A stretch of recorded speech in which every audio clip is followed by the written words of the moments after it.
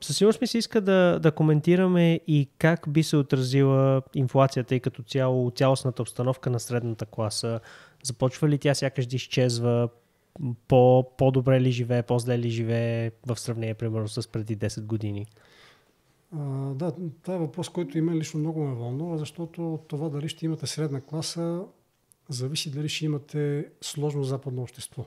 Да. Значи, идеята на развитите общества, вие знаете по-добре от мен, че идеята на едно развито общество е нали, да имате сложна структура. Не може да имате сложна структура, ако имате един, който стои на върха, няколко човека баш бабаити около него и една огромна маса от хора, които нямат нищо. Нали, това са моделските общества. С времето, нали, идеята на изграждането на модерните общества е да имате сложна социална структура, т.е. всеки да намери своето място, да имате една богата палитра от области, в които да се реализирате, да имате адекватна позиция на това какво давате за, нали, за, така, за още за системата, за економиката, доколко сте полезни за тази система, доколкото имате нужди да бъдете подпомагани, тъй като всеки има индивидуален профил. Не може да сравнявате, нали, дори двама души, ако седнете да ги сравнявате, ми те имат различен профил на предпочитания, различна структура на доходи, предпочитания и прочее, и прочее, консумация. Та, в този смисъл, идеята да имате средна класа, това е нещо, което помага за изграждането на сложно общество, едно по-развито общество. Това е белег за напредък. Въпросът е обаче, че когато говорим за средна класа, все пак трябва да правим разлика между средната класа преди и средната класа сега, тъй като идеологията е доста различна. Значи, някогашната средна класа беше нали, съставена от хора, които имат, да речем, някакъв собствен бизнес, хора, които имат така доста активи, включително и наследствени. Тоест, а, нали, класа, която се обособява като класа, според това какво е отношението и към средствата за производство.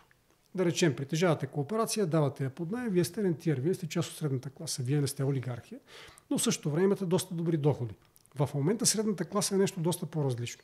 Нали, та имате хора, които са на свободни професии. Имате хора, които са, да речем, от някои от тези новите браншове, инфлуенсъри или пък, да речем, такива, които се занимават с нови енергийни източници и прочее. Това са хора, които имат стандарт на средната класа, но в същото време те не са част от нея. В този смисъл има едно постепенно изместване на понятието за средна класа. Защото ако утре нали, останете без работа, вие вече няма сте част от средната класа. Нали, отделен е въпросът, че в сегашната ситуация се намерите лесно работа. А, но все пак отношението ви към средства за производство е по-различно. Вие не разполагате с активи, които да ви позволят да речем, вие сте част от една компания, да речем консултантска компания, произвеждате нали, продукта, произвеждате услугата, консултация, получавате добри доходи. В същото време, извън тази компания, самостоятелно, вие не бихте могли да получите същите доходи. Тоест, компанията не е ваша, вие не притежавате дял от нея, така че средната класа в момента, както се дели, в момента се дели по-скоро като доходи. Нали, гледа се кои са със средните доходи, кои са с по-низките. И, и в този смисъл нали, средната класа е доста по-уязвима, отколкото е била някога. Нали, Тоест липсата на собствени активи и липсата на съответния гудвил, нали, който ви помага да оцелявате и в не особено добри времена и да не зависите от капризите на работодателя е нещо, което средната класа сега няма. Нали, има и такива. Има. Примерно, нали, някой има хотел, ресторант и така нататък, те са наистина част от средната класа. Хотел и ресторанта е негов. Но там насетне поне 80% от хората, които влизат в така наречената средна класа, са хора, които имат доходи и потребление на средна класа, но реално не са част от нея. Проблемът е, че тези, нали, по принцип, тази прослойка започва постепенно да се смачква. Тъй като стремежа за економии и за ограничаване на разходите води именно до това. Да речем, имате, ето да речем, програмистите Нали, програмистите, uh-huh. спомняте си до преди няколко години, човек програмист да е. Можеше да отиде в някоя хубава, голяма компания, да направи кариера, да се развие, да добие по-голяма квалификация, да получава все по-голямо възнаграждение. В момента вече не е така. Особено в България, огромната част от компаниите, които са софтуерните, те не са продуктови. Тоест, ако влезете там, вие влизате в, в един много тесен бен такъв на доходите. Тоест имате минимум някаква стартова заплата и максимум, който може да достигнете. От там насетне вие не може да се развивате да станете шеф на някакъв проект или да водите някакъв сегмент от продукт, който накрая ще се продава. А лъвския па от печалбата отива в корпорациите, които произвеждат тия продукти, които ги знаят. Corel, Morel, Microsoft и така нататък. Тоест там наистина можете да имате голямо професионално развитие, да имате огромен ръст на доходите, Нали, всички тия неща, които са мечтата за човек, който наистина има средни доходи, иска да ги повиши, нали, иска да отиде в така в по-горния слой. Проблемът е, че това доведе до известно смачкване на доходите, именно поради тази причина, че една компания вместо да наема, нали, да създава такъв отдел, който да развива сегмент от даден продукт, те чисто и просто аутсорсват някаква дейност, наема нали, външната компания, наема някаква българска подизпълнителска компания И в момента софтуерните компании, преобладаваща част от тях в България, те са горе-долу това, което бяха някогашните предприятия за производство на а, ризи, гащи, обувки и така нататък. Работеха на ишлеме. Това са ишлемари. Работеха на ишлеме. Имате един възложител или двама, те ви дават, възлагат ви нещо да направите, вие наймате програмисти, които го правят, съответно изкарвате готовия продукт или сегмента, който сте разработили, онези го продават, прибират лъвския пай от печалбата.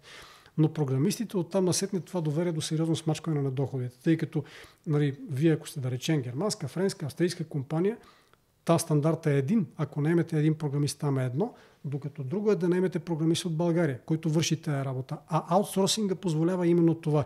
Тоест, нали, сплескването на доходите на тези, които биха могли да бъдат горните прослойки на средната класа. Също се отнася за всяка една професия. Да речем високо квалифицираните тези позиции, да речем в финансовия сектор. Някога нали, финансистите, голяма част от тях, нали, по-квалифицираните, бяха звезди. В момента не е така. В момента и това имате спескване на доходите.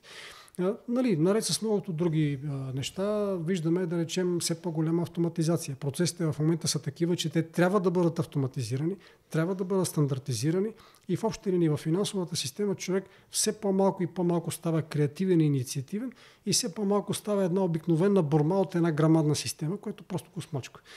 Та, от тази гледна точка, нали, доходите на средната класа, на, нали, на хората с средни доходи, тази прослойка постепенно започва да става все по-тънка и по-тънка и тя да изгуби своето значение. От тук насетне вече предстои разслояването на обществото, създаването на нещо като кастово общество, т.е касти, между които нямате никакво движение нагоре и надолу. Всичко това, за което говорим, нали, вие започвате като начинаеш програми, си може да се развиете до някаква много висока позиция в една компания. Това постепенно изчезва. Тези социални лифтове, за които я споменах преди малко, това е големия проблем че тези социални лифтове постепенно спират. Тоест, когато човек живее и се труди, той няма никаква надежда, че може да постигне нещо, кой знае колко в бъдещето. И именно поради тази причина нали, средната класа е една от най-застрашените. А това съответно застрашава социалната структура, социалната тъкан на обществото, тъй като средната класа е буфера между висшата и нисшата класа. Нали, средната прослойка е тази, която по някакъв начин тушира напрежението. Да речем, към тази средна прослойка се числят и тинг-танковете. Нали, та имате а, едни в много случаи са набедени експерти, на които гастролират по телевизията и ви убеждават нали, в момента колко е добре да имате пазарна економика. Либерализация на пазара на енергия, ама това е нещо, което е много хубаво. Деросификация, ама ние се снабдяваме с ефтин газ по някакъв начин успяват тези хора, колкото и да са вредни за обществото, но в същото време те тушират голема част от неговото напрежение. Те тушират това напрежение, което иначе би прераснало в някакви вълнения по улиците. Но благодарение на тази средна прослойка, нали, лицата от медиите, които виждаме, също са част от тази прослойка. Те успяват да тушират напрежението и да предотвратят конфликта. Значи това е като смаската между нали, в ставите. Нали, ако се търка кокъл в кокъл, това е изключително болезен процес. И за съжаление, смачкването на тази средна прослойка ще доведе именно до такива търкания и ще доведе до социални конфликти, нали, които ще доведат до изграждането на коренно различна социална настройка и вече имаме и средствата, с които, нали, с които да го направим това нещо. Но, нали, за да обобща, средната прослойка постепенно изчезва и тя постепенно започва да се размива и да става част от тези хора, които са с ниските доходи, да става все по-зависима. Пример мога да ви дам, да речем една от големите инвестиционни банки, а, мисля, че беше JP Morgan. Преди 3-4 години въведаха система, която прави такива ревюта на договори, кредитни договори. Нали, допреди да въведат тази система, там с ревюта се занимаваха няколко хиляди човек. Нали, взимат договорите, гледат нали, имате ли комплайенс, там правилата на банката с съответно някакви нови нормативни регулации, ако има излезли и така нататък и постоянно правят ревюта. Към ден днешен там почти няма такива хора. Всичко е поето от една машина, която ги взима, прави засечки там с такива ключови фрази от текстовете. Нали, тя има огромна база от данни, както и тук. Нали, имате такива бази с нормативни актове. Въпросът е, че системата може да ги машне по ключови фрази, да види дали има разминаване, да изкоригира договорите, да ги принтира и оттам насетне да ви ги изпрати по почтата. В целият този процес нямате човешко участие. Така че всички тези специалисти останаха буквално на улицата. Хора, които нали, не е кой знае колко квалифициран труд, нали, това не е дейност, която бихте имали да речем, ако сте в кредитния съвет или просто на някакви по-високи нива в иерархията, но същото време те една дейност, която до тогава не можеше да бъде изпълнявана от машини. Същото нещо се наблюдава и на горните нива. Все по-голяма и по-голяма роля имат скоринг системите за вземане на решения. Допреди, да речем, особено в България, ми тук до 90 и 8-9 година, скоринга беше нещо непознато. За скоринг започна да се говори, когато дойдоха големите западни банки и независимо от навлизането на външни инвестиции в банковия сектор, нали, дълги години след началото, нали, след въвеждането на валутния борт, дълги години след това, все пак голяма част от отпускането на кредите минаваше през хора.